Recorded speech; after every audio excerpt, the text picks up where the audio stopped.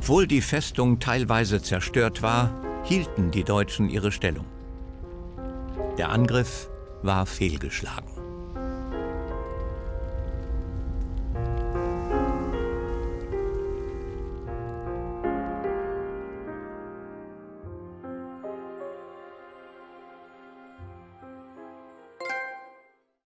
Feuerpause?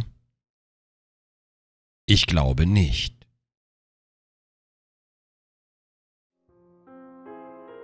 Kapitel 3 Enttäuschte Hoffnung Meine liebe Tochter, der Krieg hat mir einen teuren Freund genommen und sein Verlust trifft mich härter, als ich es mir jemals hätte vorstellen können. Karl ist immer noch südlich von Reims interniert, aber sein Zustand verbessert sich langsam. Bei nächster Gelegenheit werde ich versuchen, eine Besuchserlaubnis zu erhalten. Und du? Wie geht es dir? Hat sich das Leben in Saint-Miel gebessert? Leider musste Karl feststellen, dass sich nichts gebessert hatte. Aus Maries Brief erfuhr er, dass sein Sohn schwer erkrankt war. Karl fasste einen Entschluss. Da der Krieg niemals enden würde, musste er fliehen.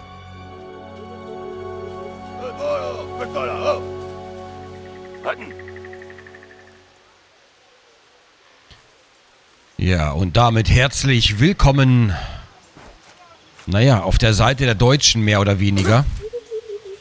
Was? Ja, auf der Seite der Deutschen. Blunderklump.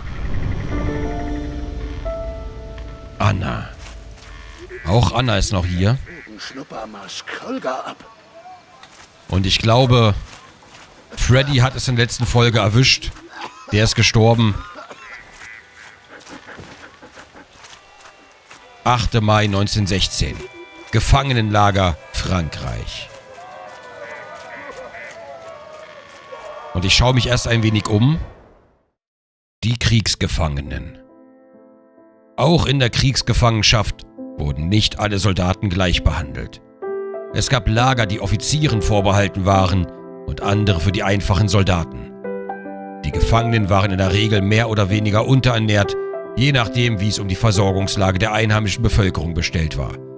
Als Zwangsarbeiter mussten sie die eingezogenen Zivilisten ersetzen und wurden häufig in der Rüstungsindustrie, der Landwirtschaft und im Bergbau eingesetzt. Insgesamt wurden während des Krieges 8 Millionen Gefangene gemacht. Davon saßen 2,5 Millionen in deutschen Lagern. 8 Millionen Menschen. Unvorstellbar, völlig unvorstellbar. Neues Tagebuch. 8. Mai 1916. Ich sitze jetzt hier seit elf Monaten in diesem Gefangenenlager südlich von Reims fest. Ich werde langsam wieder gesund und kann sogar wieder laufen. Das verdanke ich nur Anna. Maries letzter Brief hat mich beunruhigt. Victor ist sehr krank. Und in Saint-Méhil verfügen sie nicht über die Mittel, ihm zu helfen. Ich muss hier weg. Saint-Miel, ich sag immer Mihil. Hier kommen wir auch nicht durch.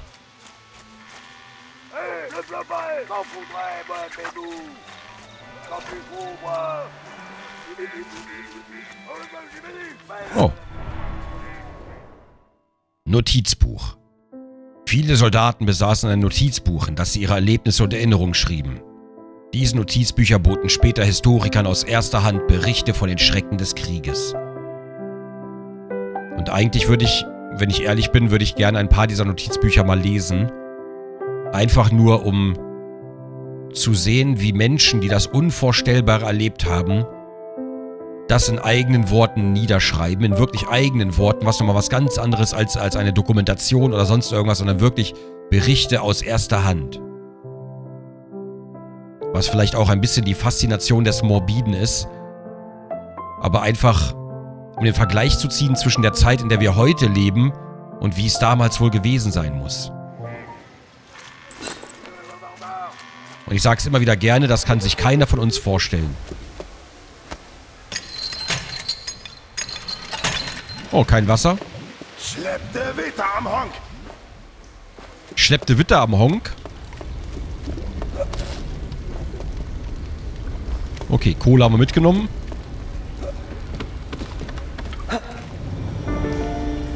Ach ja.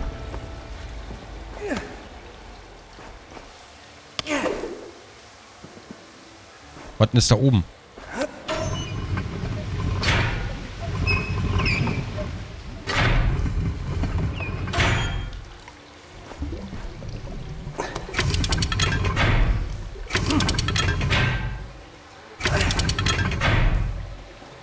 Das wollte ich jetzt eigentlich nicht.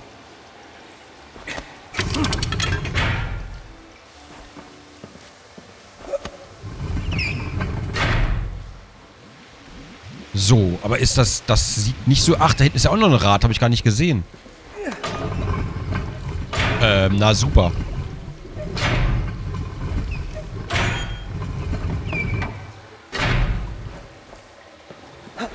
So, da haben wir eine Marke. Deutsche Erkennungsmarke. Deutsche Marken, die Erkennungsmarken, waren zu Beginn des Krieges noch nicht bei allen Soldaten gleich. Die Form, das benutzte Material und sogar die eingeprägten Informationen hingen von der Region ab, aus der der Soldat stammte. Im September 1915 wurde ein Standardmodell eingeführt, eine Plakette mit dem Namen des Soldaten, seinem Geburtstag und Ort sowie den Regimentsdaten. Ende 1916 wurde es durch ein neues Modell ersetzt.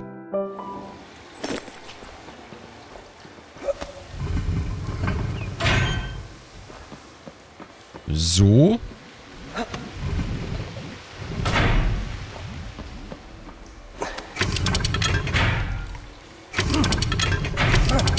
Nein, der macht immer einmal weiter.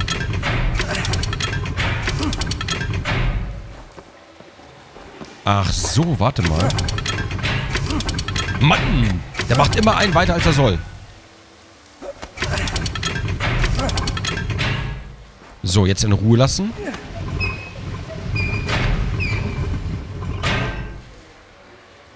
Na, das funktioniert ja reibungslos.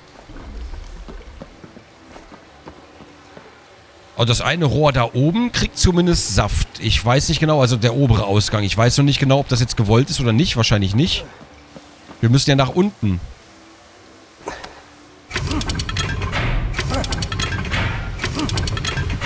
Jetzt tut er wieder so, als wüsste er, was er da macht.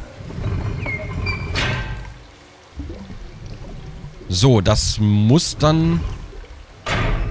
Warte mal.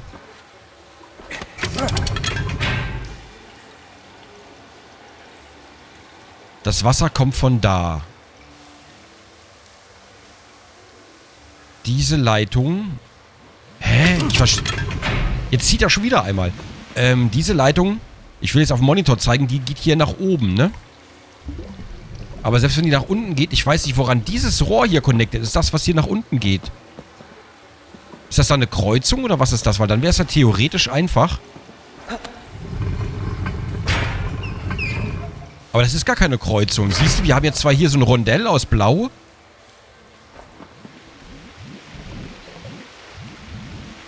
Aber wie kriegen wir das denn hin? Äh? Wir kriegen doch in das Rohr gar kein Wasser rein. Da oben tropft es jetzt raus. Das ist natürlich wunderbar.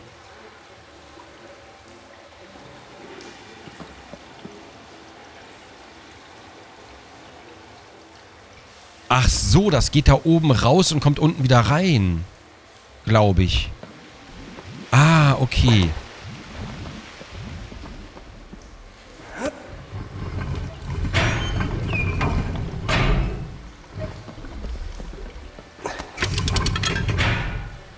So, jetzt geht's oben raus. Und kommt unten nicht wieder rein. Mano!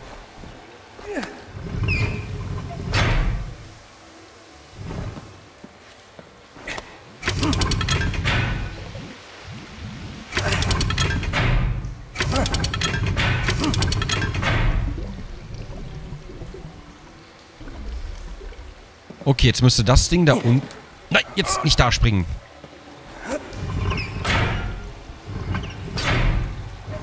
So. Ah, nee, ist auch falsch.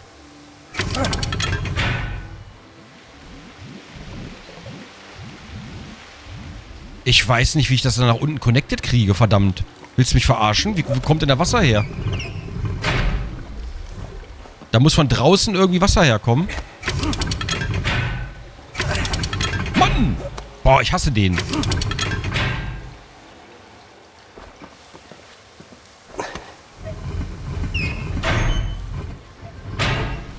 So, das Ding wäre jetzt richtig. Das, was von draußen rauskommt. Jetzt ist die Frage, wo geht's da oben hin? Das müssen wir erstmal rausfinden. Oder ich denke zu kompliziert. Ich weiß es nicht. Das Rohr ist kaputt, deswegen. Na, tolle Wurst. das ist ja super. Da hätten wir ja lange drehen können. Wie gemein. So, jetzt kommt es da raus.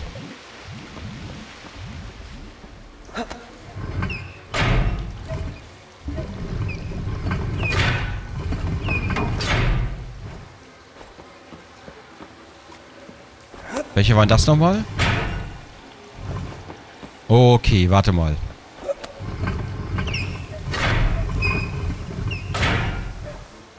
So, kann ich dann dieses Ding hier drehen?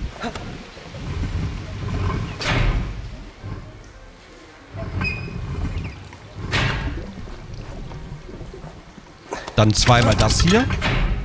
Nein! Gut gemacht. Doch! Zweimal. Ja, sag ich doch zweimal. Ist nicht sonderlich elegant, aber hat funktioniert. Gut gemacht, hat er gesagt. Na, endlich haben wir jetzt Wasser da unten. Das muss man auch wissen, dass das Rohr kaputt ist. Bitteschön. Beste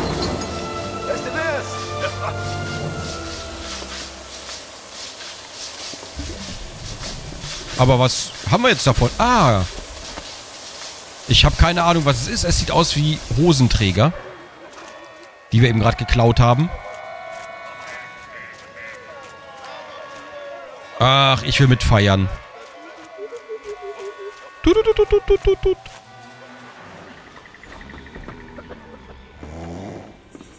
Ach, ist das schön hutzelig hier. Da liegt noch was. Brief eines ungarischen Gefangenen. Sehr geehrter Herr Diensthahl, ich bin jetzt bereits seit drei Monaten Kriegsgefangener in Reims. Wir werden nur relativ gut behandelt, aber ich kann es nicht erwarten, hier rausgelassen zu werden. Mit Ihrer Erlaubnis würde ich bei Kriegsende gerne wieder als Vorarbeiter arbeiten. Meine Fertigkeiten haben nicht gelitten und selbst wenn ich nicht mehr so stark bin wie vor dem Krieg, so bin ich bald wieder kräftig genug. Ich freue mich schon, von Ihnen zu hören. Maximilian, Elektriker.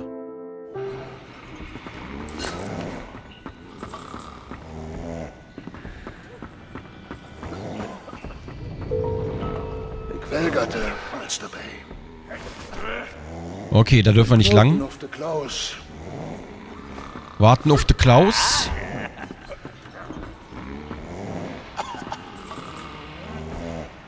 Wahrscheinlich dürfen wir da später hin. Jetzt momentan noch nicht. Warten auf den Klaus, da kommen wir nicht raus.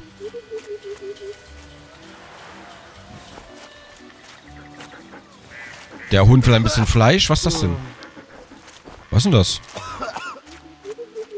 Dabei kam ein Trecker anderer. Ja. Hier kommen wir nicht raus oder rein, bevor wir nicht ein Stück Fleisch besorgt haben. Hier ist die Wurstküche. Quellgatte Aster dabei. Und der Mann will was zu rauchen. Vorher kommen wir nicht an dem vorbei.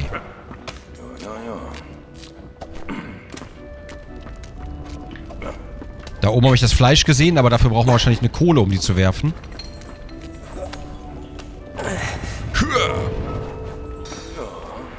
Wo kommen wir denn da hin?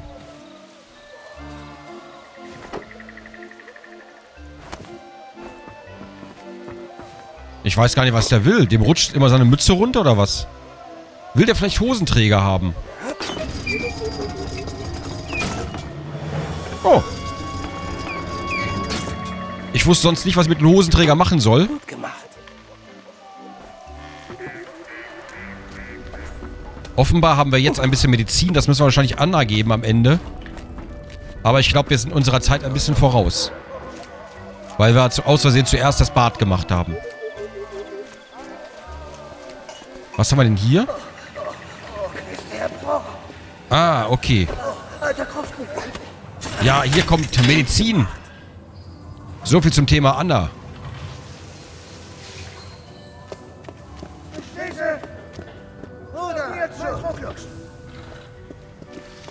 Ach so, warte, warte, warte. Hallo? Na, dann wollen wir mal.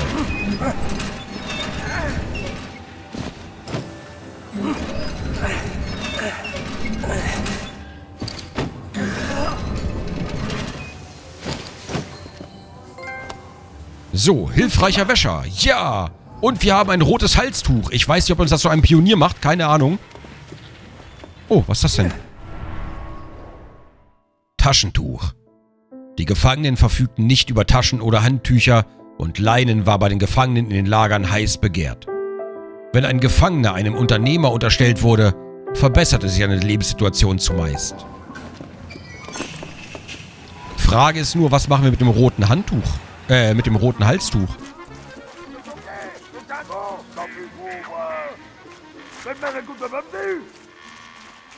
Ich habe das Gefühl, das hilft uns überhaupt nicht. Wir haben es nur als, ich weiß nicht, als Auszeichnung. Ah, warte mal. Vielleicht können wir jetzt... Ich nehme hier nochmal ganz kurz um Kohle. Vielleicht kommen wir mit dem roten Halstuch, jetzt nämlich im, im, im Dingens. Vielleicht kommen wir da jetzt rein. Im Schlafsaal. Vielleicht sind wir jetzt elitär.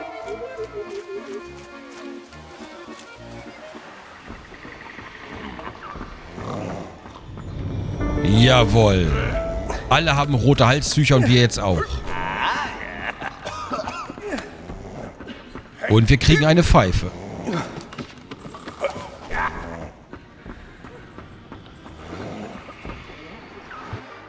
Okay, mit der Pfeife. Huch. Gehen wir zurück in die Fleischerei. Die war da. Geben dem jungen Mann die Pfeife. Bitteschön. Nehmen, was immer es ist, eine Keksdose. Die Gefangenen litten in den Lagern an Hunger und ihr Essen wurde oft gestohlen. Diese Metalldose wurde von Hand gefertigt und enthielt entweder Brot oder Kekse. Der Besitzer konnte seine Vorräte mitnehmen, wenn er zur Arbeit ging, damit sie nicht gestohlen wurden. Und heutzutage wird auch der Arbeit gestohlen. Kennt man doch. Aus dem Kühlschrank.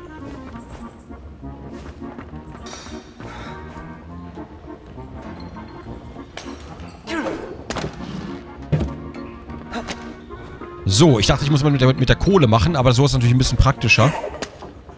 Oh. Ah, ich muss die Dinger weghauen, glaube ich, ne?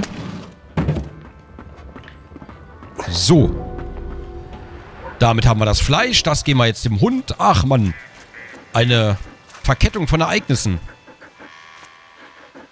Hundi? Ach, hier in den Fressnapf. Bitteschön.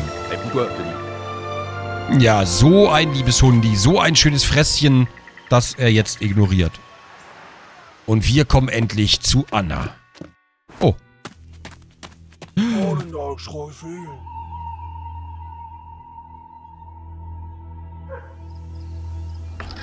Die Zeit läuft.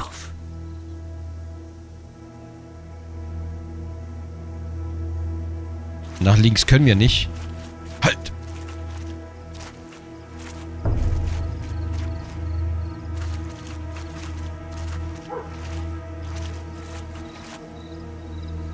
Sehen uns hier nicht.